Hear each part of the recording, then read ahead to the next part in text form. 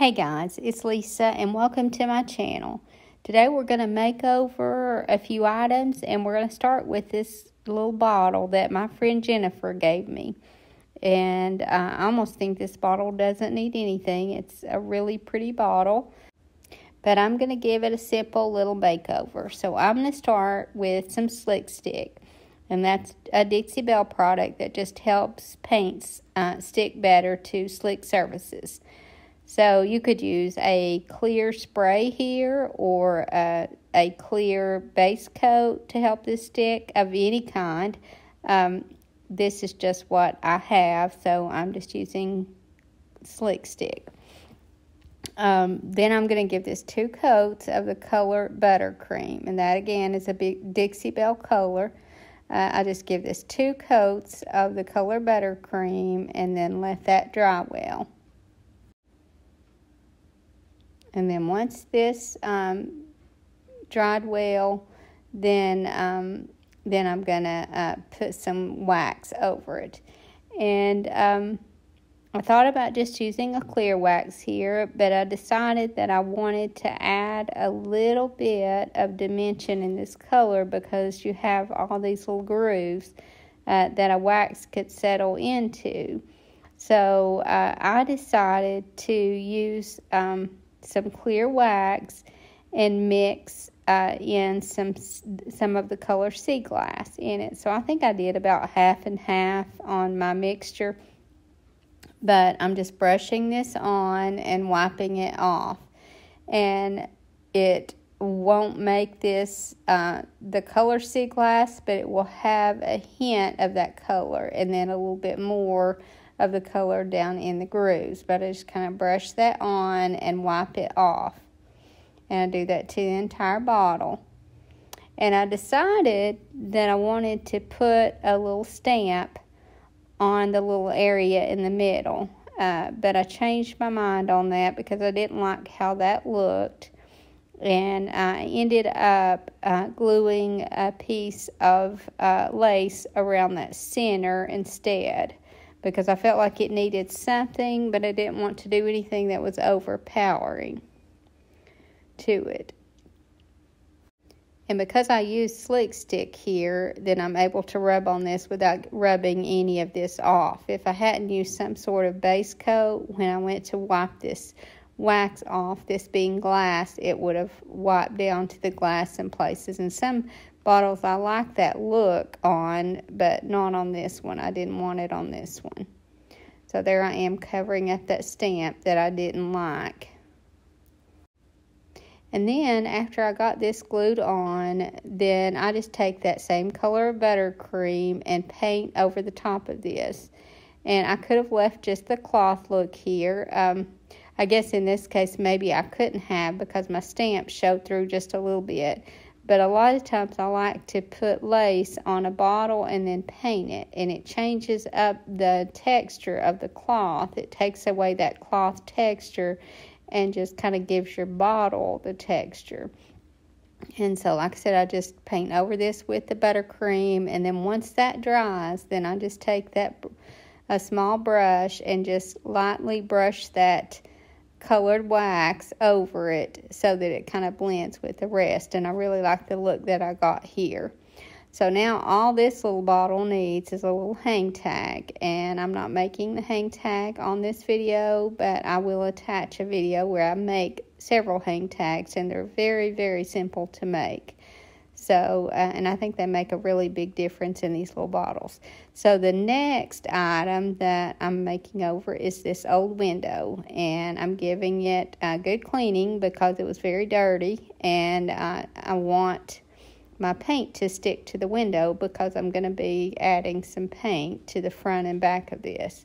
So this will be the back and um, I'm taking the color buttercream and painting directly onto that window uh, two coats of the color sea glass and that's again a Dixie Belle color. So Generally, uh, using uh, paint on glass, I would use a slick stick or some sort of base coat to help it stick. But this is going to be the back of the window, and I just felt like that um, that it's not going to get any wear and tear. So uh, once I put two coats on this, uh, I think it will stay well, especially since uh, by the time it's really touched, it's going to have plenty of curing time. And I would normally um, paint a top coat over my chalk paint, but again, that's just going to be on the back, so I didn't feel like it was necessary. Um, and now I'm giving this uh, the window frame on the, the side that I'm going to be uh, using and painting two coats of the color buttercream. And then I'll let that dry well and then I'll take my orbital sander and give it a good distressing. So I distressed it down just as much as I could get it. And, um, and then I'll go over that with some clear, uh, some clear top coat. So um, I'm just using a Dixie Belle top coat. I'll just brush over the top of that. Now I could use a clear wax at this point, uh, but um, once your paint finish is finished, you need to you need to seal it with something. And now I'm, I'm going on top of this glass. Now the paint is in the back, so I'm just painting raw glass here also. And um, I could have painted the paint on the front, uh, but I just like the look of the glass in front of the paint. So I'm just taking this little stencil here, and this is one that I got from Amazon and um, I'll try to locate that, uh, a link to that, and put that in the description. But I just put that in all four corners, and then this is another um, another stamp or uh, stencil that I got from Amazon, and I'm stenciling this uh, in the center. And because of that little muntin, I have to stencil some on top and then some on the bottom. So this is a little bit tedious to work with, but it worked out fine. And then once I put this this stencil on, then that's all that I do to this window. I could um, add a, a, clear matte spray at this point to seal this, um, and I may do that uh, I haven't decided yet, but I may do that. The only thing is, it's going to take this glass from being shiny to to more of a matte finish. And it will almost look like a frosted glass, but it will protect this paint well. So I'm probably going to have to do that. And then once I finish this one, then uh, then I can move on to the next one. And the next item is going to be this little lamp. And um, this lamp is a um, a very simple little lamp. Uh, so I, am not going to have to do much to this one. I'm just going to paint it in the color sea glass. Uh, I feel like it needs a little character added to it. So I'm going to give this two coats of the color sea glass. And then once I let that dry well, then I'm going to um, add some um, white wax to this. And that will uh, tone this color down just a little bit um, and give it a little bit more dimension. And also, since I didn't uh, let this dry overnight or I didn't use a slick stick on the bottom, when I go to wipe this off, if I put a little bit of pressure, then I'll get some distress down to that dark color, which is what I'm going for. And uh, so now I'm sealing this and distressing it in one step. And because I'm getting a little hooked on the distress ink, then I, I decided to do something I haven't done before and use it to um, to tone this down instead of using a glaze. Because normally what I would do is use some Van Dyke Brown glaze on this, and um, and then that would tone this color down. But I thought that just using this antique ink uh, with this little foam brush would make this a lot easier. Now, I don't know how well this holds up. That's the one thing I haven't tried it on um, on a, a hard surface like this, but I have tried it on paint and it works out really well with paint because the paint really grabs the color and it doesn't wipe off.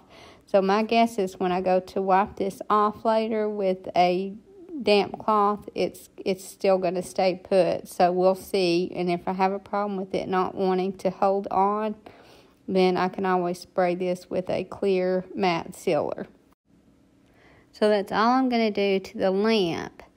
Uh, but now need to make over the shade. So this shade is in really good condition. So all I'm going to do is just tie some strips of fabric around it and let the knot uh, show at the bottom.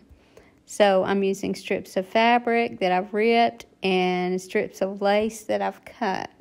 And I just tie those all the way around until I cover the shade well and then I'll cut the length where I want it when I'm all finished. So this is one of the simplest fixes. It takes a little bit to tie those around, uh, but it doesn't take very long and you can use strips of sheet or tea towel or uh, or an old um, curtain panel. Uh, you can use just about anything as long as you can make a strip and tie a knot in it. So I just tie this all the way around and kind of distribute my lace and uh, and strips of fabric until I get the whole thing covered. And then once I got this covered, my first plan was to just kind of let these knots hang and add some rosettes. But I decided that I wanted to add a little bit frillier touch to this, so I had thrifted this lace. And, uh, well, I didn't thrift it, I actually got it in an estate sale. And I thought it would be perfect to add to the bottom of this. So I just glue that around just above those knots. And then once I get it glued all the way around, uh, then I just cut the knots off underneath it so that none would be showing uh, beyond lace. And then uh, I'm going to add some rosettes to this. And I'll somewhat show you how to do them, but I can attach a video where I do them in, in detail.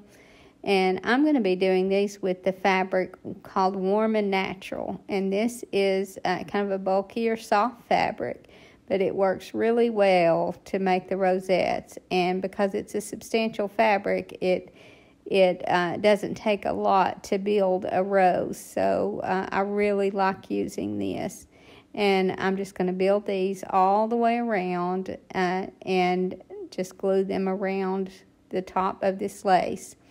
And uh, this Warm and Natural can be found, I get mine at Walmart, and it's found where you find the quilt batting.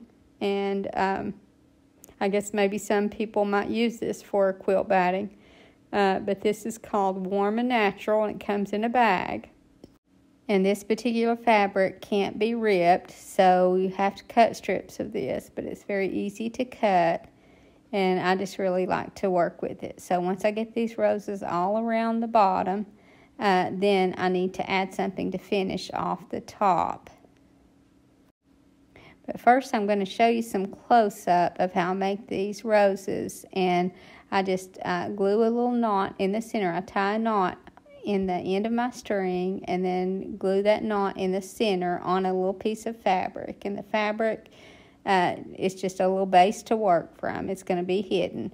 So I twist my fabric uh, a couple times one way and maybe a couple times the other way. I like to uh, twist it back and forth because I feel like it gets gives more dimension to your flower.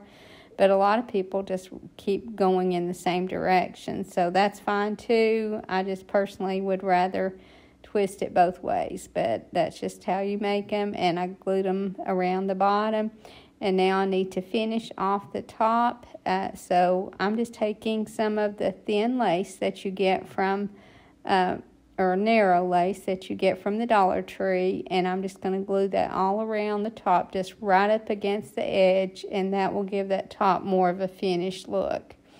And then that's all that I'm doing to this lampshade. And I think that really made a big difference in that little simple lamp that didn't have any character. And then for the next item uh, that I'm going to make is um, just this book stack. And uh, this is going to be a very simple book stack. Um, and I like the book stacks, but I want them simple. I usually don't like to put much on mine. And I like to take the book jacket off, so or the book cover off.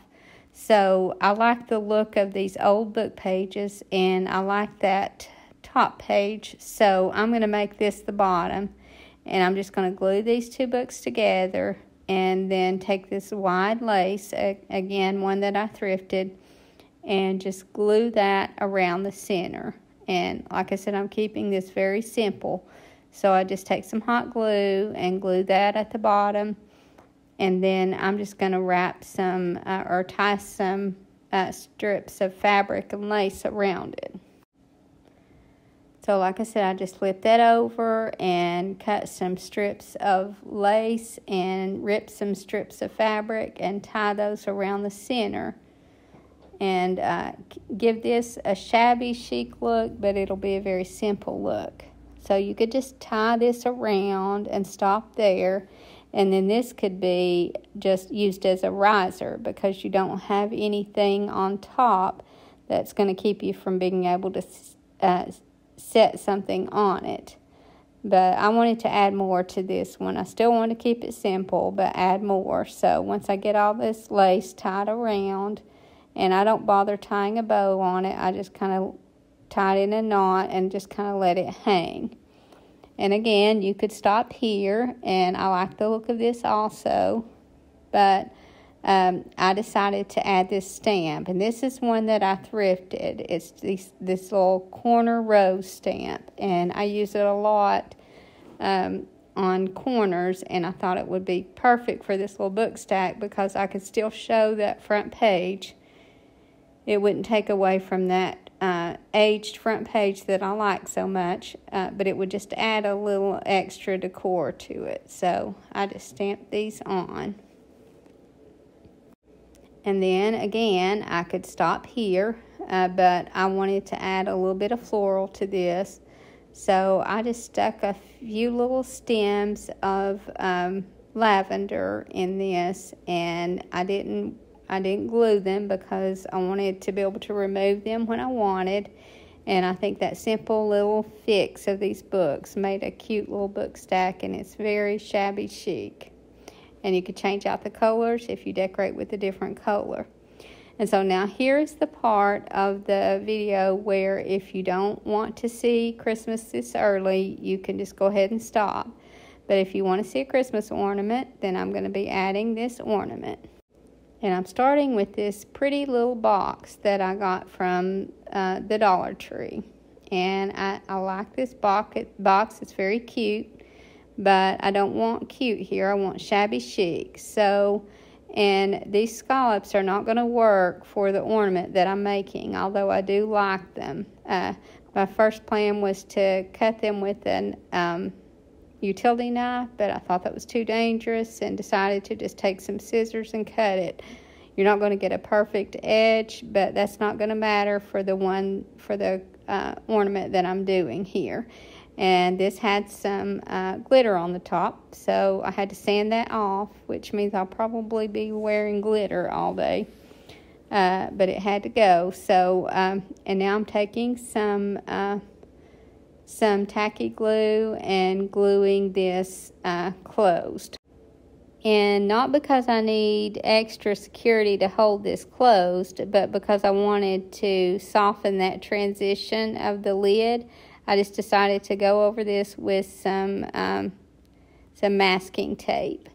And I'm going to be painting over anyway, so uh, it's not going to show.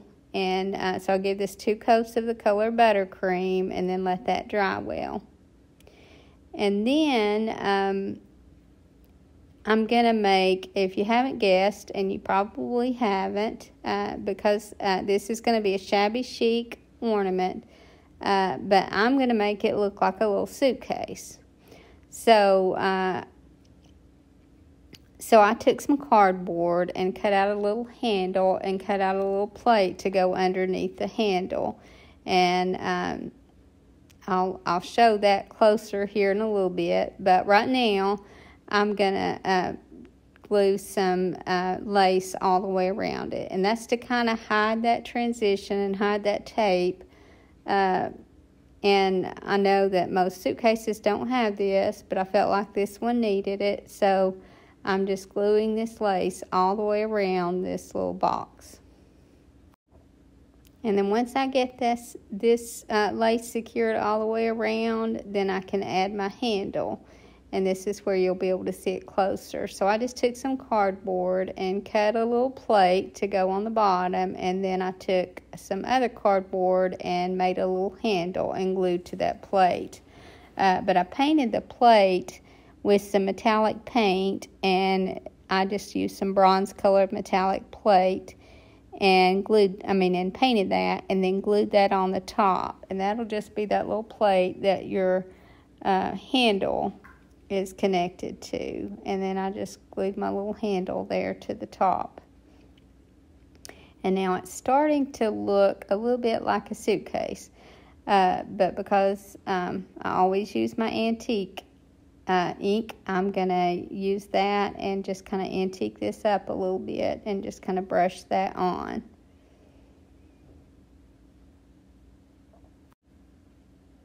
And then once I get this antique the way I want it, uh, then I'm going to uh, use my set, uh, my stamp, clear stamp set called I See Paris by Redesign and um, use a couple of those stamps and stamp on the front and the back.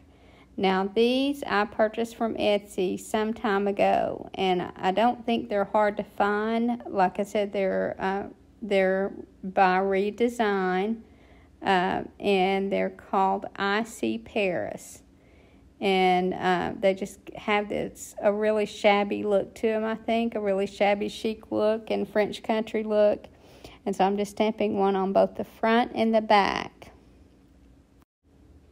And I think that quickly, uh, this is starting to really look like a suitcase. And it's becoming so much like I imagined it would. So, um, this is definitely one that is easy to do and I feel like pretty quick to do and maybe some of you wouldn't think that this is very Christmassy, but it is very shabby chic. And I think if you were doing a shabby chic tree, this would be really cute on the tree. But now I need a way to hang it. So uh, obviously, that little handle is not going to work. So, and I don't want to take away from the look of it. So I'm I just glue a clothespin on the back so that it can hook straight onto the tree. And because every piece of luggage needs a luggage tag, then I just made a little hang tag that kind of looks like a luggage tag and tied that on the front. And then this is making me think uh, about how cute it would be to do a whole set of luggage like this. So now I'm on the lookout for one of the little square uh, overnight uh, suitcases. I think that would make a really cute one. Uh, but I really like how this one turned out, and I like the vintage look of this vignette. And the colors for me are, I just really like these colors. And as you can see, this simple little lamp that had no character is just full of character now. I hope you guys enjoyed this video, and I hope to see you in the next. Thank you so much for watching. Have a great evening, and God bless you and your family.